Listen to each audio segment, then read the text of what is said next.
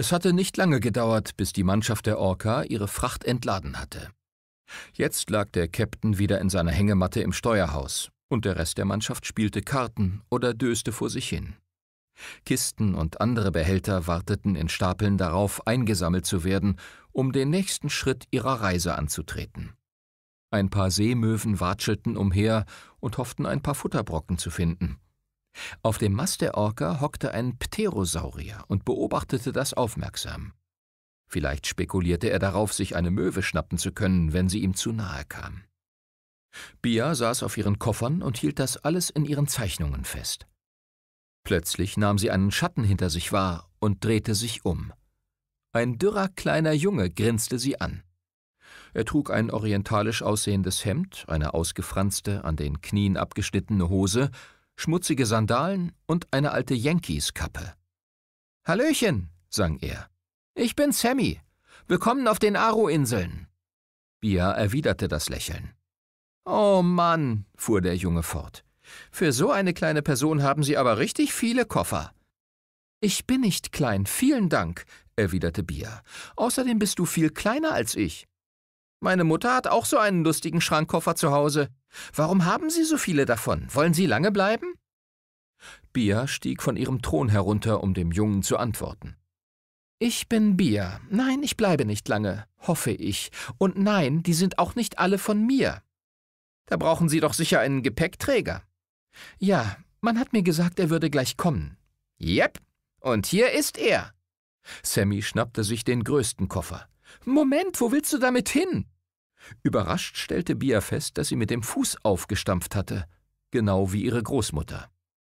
Keine Angst, Sammy zog weiter. Ich schaffe das schon. Nein, der Gepäckträger kommt doch gleich, du dummes Kind. Sein freundliches Lächeln wich einem ernsten Gesichtsausdruck. Lady, Sie können mich ja dumm nennen, wenn Sie wollen, aber ich bin Gepäckträger. Ja, ich bin neun Jahre alt, aber nicht neun Jahre jung. Seit ich sechs bin, arbeite ich als Gepäckträger und ich verdiene genauso viel wie mein Vater. Ich habe mein eigenes Geschäft und ich bin sehr gut darin. Junior, mein Kylo, ist der stärkste und hübscheste Saurier in der ganzen Stadt. Er hat noch nie eine Ladung fallen gelassen. Noch nie! Bia erkannte ihren Fehler. Sie hatte den Jungen unterschätzt. Tut mir leid, Sammy.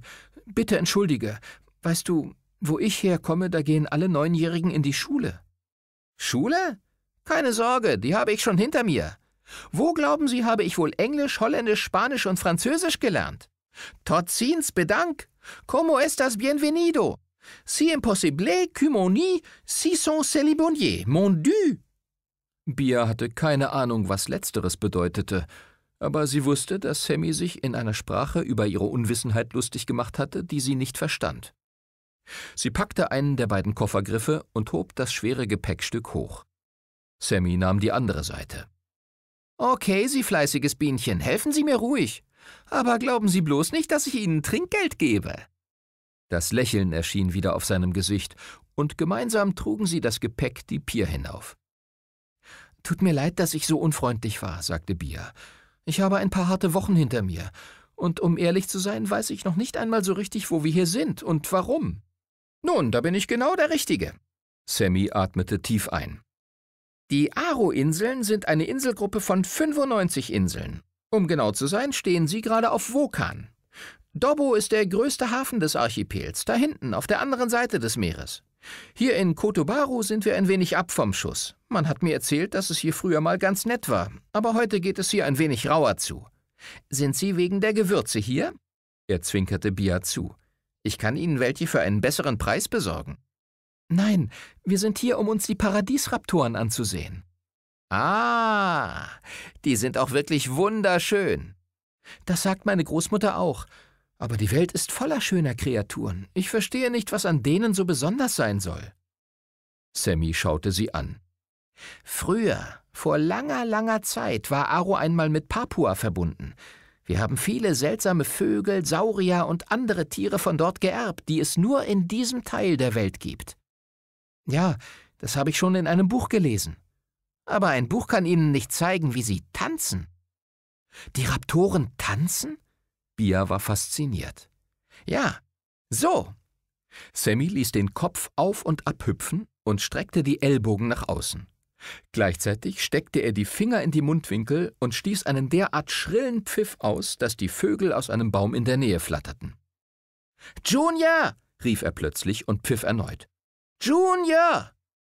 Mit zusammengekniffenen Augen entdeckte Bia etwas Seltsames, das am anderen Ende der Pier im Flachwasser kauerte.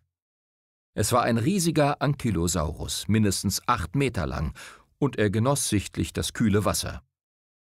Suchst du das da? fragte sie. Junior, was machst du da? Heute ist nicht Badetag. Wir haben eine Kundin. Komm sofort raus. Sammy wartete ins Wasser und kletterte das Seilgeflecht hinauf, das auf dem schwer gepanzerten Rücken des Tieres als Sattel diente. Das ist wirklich peinlich. Junior, raus jetzt! Sammy zog mit aller Kraft an dem dünnen Halfter. Unendlich langsam drehte der Ankylosaurus den Kopf und wartete aus dem Wasser. Jetzt war auch zu sehen, wie groß Junior wirklich war. Einfach atemberaubend. Sein Rücken war so breit wie ein Lastkarren und mit wunderschönen Knochenplatten in seltsamen Farben und Mustern bedeckt. Den Rand des Rückenpanzers wiederum zierten mächtige Dornen, an denen sich hervorragend Seile und Taschen festmachen ließen. So war der Saurier das perfekte Lasttier für schwere Güter. Das heißt, sobald man ihn in die richtige Richtung dirigiert hatte, was offenbar sehr mühsam war. Wie ich sehe, sind hier nicht nur die Vögel und Paradiesraptoren so schön bunt. Was für ein wunderbarer Schmuck! Hast du die selbst bemalt? fragte Bia sehr zu Sammys Freude.